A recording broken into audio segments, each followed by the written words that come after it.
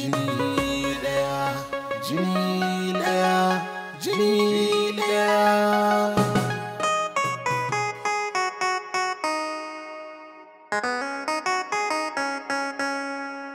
Shekaru masu yawa da suka shuɗe. Ga wani bafulatani wanda rayuwa ta yi masa tsauri har ta kai ta kawo baya samun sukuni sakamakon ƙangin rayuwa wanda ba sa samun cin yau ballantana na gobe.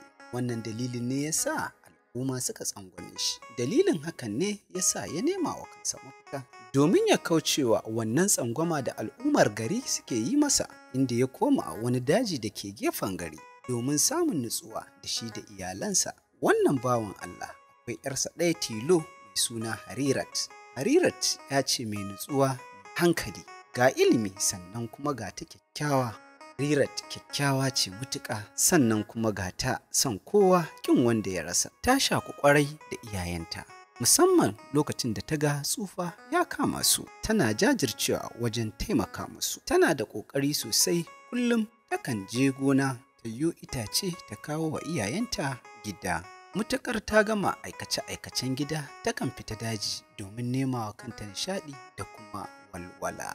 A wani lokaci tana tsaka da ruwa sai ta yi tsuntuwar wani zobe cikin ruwan da ta ɗebo a cikin rijiya domin yi wa shuka ban ruwa.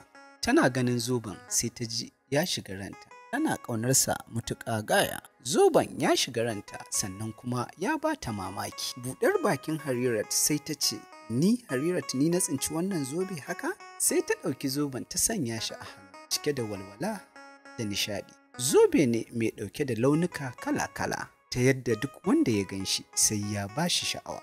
Wai ko wannan zobe wani iri ne?